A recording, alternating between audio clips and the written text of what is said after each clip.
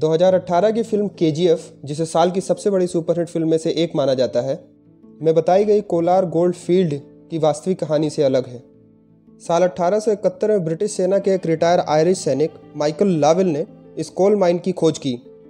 लावेल ने अपना अधिकांश समय आर्टिकल पढ़ने में बिताया और 1804 के एशियाटिक जर्नल के एक चार पेज के आर्टिकल को पढ़ने के बाद लावेल ऐसी यात्रा पर निकले जिसने अंततः दुनिया की दूसरी सबसे गहरी और बड़ी सोने की खान कोलार गोल्ड फ़ील्ड को जन्म दिया। कोलार गोल्ड फ़ील्ड की कहानी पहली बार 1799 में फैली, जब तत्कालीन शासन टीपू सुल्तान अंग्रेज़ों द्वारा श्रीरंगपट्टम की लड़ाई में मारा गया। लावेल ने चोल वंश के समय में कोलार गोल्ड फ़ील्ड के सोने के भंडार की अफवाहें सुनी थी, जिसमें सोने का भंडार की मात्रा इतनी अधिक थी कि लोग अपने नंगे हाथों से खोद कर सोना निकाल लेते थे। एक जाँच के बाद लावेल ने निष्कर्ष निकाला कि प्रत्येक 120 पाउंड या छप्पन किलो मिट्टी के लिए ग्रामीणों के कच्चे तरीकों का उपयोग करके सोने का एक पाँच ग्राम का टुकड़ा निकाला जा सकता है और मशीनरी के इस्तेमाल से यह सोने के बड़े भंडार खोल सकता है। दो साल से अधिक रिसर्च करने के बाद अठारह सौ तिहत्तर में लावेल ने वहाँ के तत्कालीन महाराज की सरकार से खोदने के लिए लाइसेंस की मांग की। लावेल ने 2 फरवरी 1875 को कोलार में खनन के लिए 20 साल की लीज हासिल कर भारत में आधुनिक खनन के युग की शुरुआत की। जैसे ही के में संचालन आगे बढ़ा, अंग्रेज़ों ने सोने की खुदाई तेज करने के लिए कोलार में एशिया के दूसरे और भारत के पहले बिजली पावर हाउस की योजना बनाई। रॉयल इंजीनियर्स के अधिकारियों ने 1900 में कावेरी नदी में एक पावर हाउस बनाने के प्रस्ताव के साथ मैसूर महाराज से संपर्क किया। न्यूयॉर्क से सेंट्रल इलेक्ट्रिक कंपनी और स्विट्जरलैंड से आयशर वाइस को बिजली संयंत्रण स्थापित करने के 148 किलोमीटर लंबे ट्रांसमिशन का काम दिया गया। ब्रिटेन, अमेरिका और जर्मनी से आयातित मशीनरियों को हाथियों और घोड़े द्वारा खींची जाने वाली गाड़ियों में ले जाया जाता था।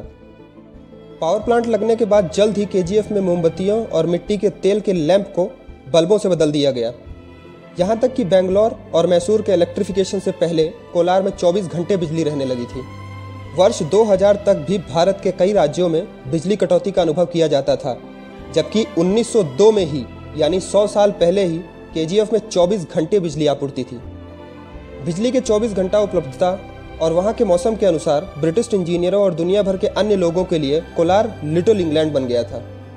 इंग्लैंड जैसे मौसम, बंगलों और क्लबों ने के को एक ड्रीम डेस्टिनेशन बना दिया था और कई देशों के लोग कोलार के आसपास के इलाके जैसे बेंगलोर में परमानेंट बसने लगे थे। जैसे ही के में सोने का भंडार कम होने लगा और खुदाई को और गहरा किया जाने लगा, प्रवासियों ने कोलार छोड़ना शुरू कर दिया। हालाँकि आज़ादी तक प्रमुख पदों पर अंग्रेज़ों का कब्जा था। 1956 में जब केंद्र सरकार ने सभी खानों को अपने कब्जे में लेने का फैसला किया तो अधिकांश खानों का ओनरशिप पहले ही राज्य सरकारों को सौंप दिया गया था। खुदाई में मजदूरों के काम करने की परेशानियाँ धीरे धीरे बढ़ने लगी और सोने की गुफाओं में तेज हवा को मशीनरी द्वारा भेजा जाने के बावजूद वहाँ का तापमान 55 डिग्री तक रहने लगा। 2001 में कोलार गोल्ड फ़ील्ड के खिलाफ बड़े पैमाने पर विरोध प्रदर्शन हुए।